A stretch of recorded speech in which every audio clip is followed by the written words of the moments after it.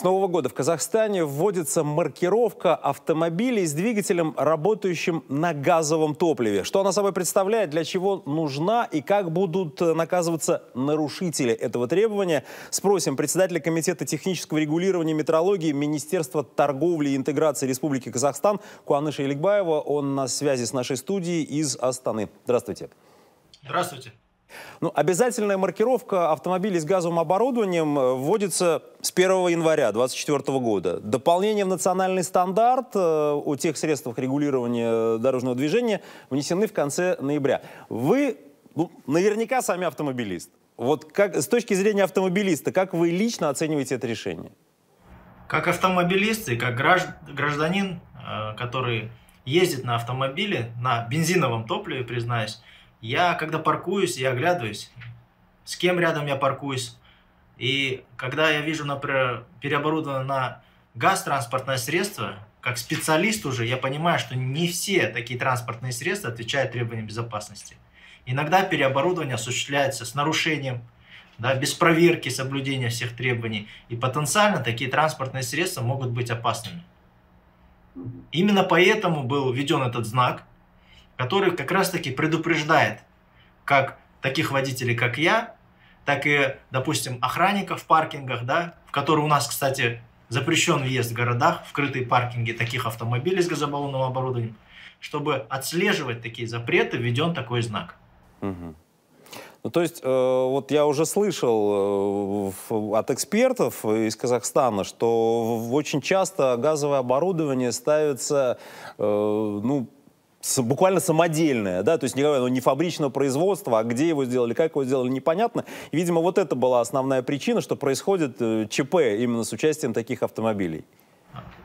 Да, действительно, я думаю, не только в Казахстане. Периодически бывает такое, что переоборудование, э, оборудование закупается не то для установки, да, а так и сам процесс периодически не соответствует установленным требованиям, не проводится проверка на утечки газа и так далее. Угу. То есть, получается, любая, любой автомобиль, э, на котором установлено газобаллонное оборудование, где используется природный газ в виде топлива, он с 1 января должен быть э, промаркирован вот этим специальным знаком. Да. Э, а как будет выглядеть знак? Что это?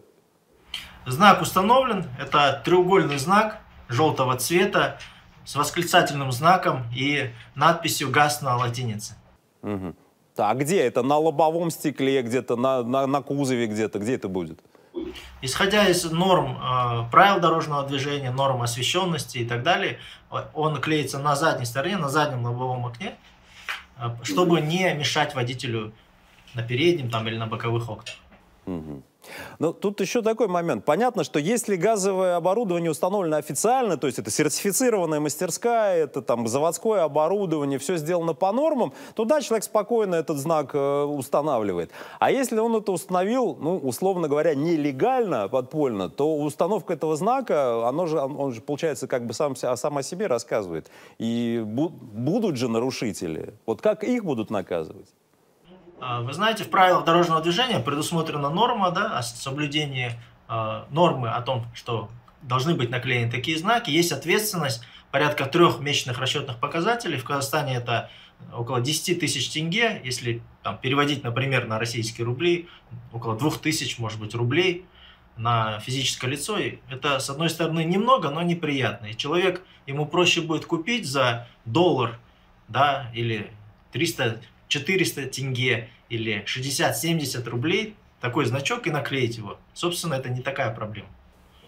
Но при этом все равно, вот даже в соцсетях идут обсуждения, и люди спорят по поводу вот этих знаков, клеить, не клеить, устанавливать, не устанавливать. И зачастую у людей как раз те, которые ставили все официально, у них все официально сделано, у них есть все сертификаты, у них есть все разрешения, все. Они говорят, ну а зачем я-то буду клеить? У меня же все нормально. Ну, во-первых, Смотрите, есть запрет на въезд в паркинге всех транспортных средств, переоборудованных на газ, не разделяя на кустарно, не кустарно. Запрет есть и все. И, соответственно, этот запрет, он должен администрироваться, то есть соблюдаться. Кто-то должен контролировать транспортное средство, какое заезжает. Тот же охранник, который сидит, да, он должен видеть, что это транспортное средство с этим значком. Или граждане, которые э, не ну, также паркуются в паркинге, они могут увидеть, что заехало такое транспортное средство и подать соответствующий сигнал. Поэтому он распространяется на всех, этот знак, и все должны его соблюдать. Угу, То есть ну, тут, тут мы выходим на соблюдение норм и правил вообще законодательства в целом, то есть более широкое, тут не, не, не конкретно с, с этими машинами связанное. Но получается, получается, что вот по статистике, поправьте меня, если я не прав, но у меня данные такие, что в Казахстане сейчас больше 380 тысяч автомобилей, которые ездят именно на газовом топливе, не на бензине. Э, ну, понятно, что одномоментно их все промаркировать, э, ну, видимо, не получится. Ну, какой-то срок указан, как быстро будут это все промаркировано, и, на ваш взгляд, что нужно, чтобы это было сделано ну, максимально быстро? Да, хороший вопрос. Мы неспроста за полтора месяца почти, да, всех проинформировали, вы сами свидетели, помогаете нам на всех телеканалах. И вы знаете, был вопрос, как быстро появятся эти знаки на рынке, сколько они будут стоить, не будут ли завышаться цены.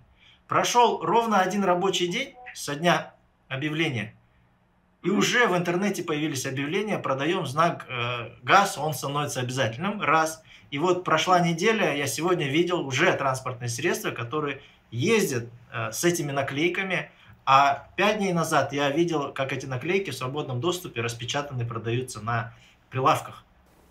Ну, это рынок, он быстро реагирует. Самые законопослушные уже промаркировали свои машины, получается так. Да, время есть. Угу. Понятно. Спасибо. Спасибо вам большое. С нами на связи был из Астаны председатель Комитета технического регулирования и метрологии Министерства торговли и интеграции Республики Казахстан Куаныш Эликбаев.